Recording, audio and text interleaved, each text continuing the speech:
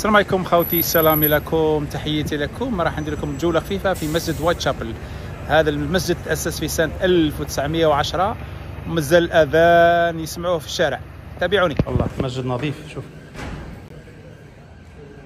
هذا مدخل المسجد هنا.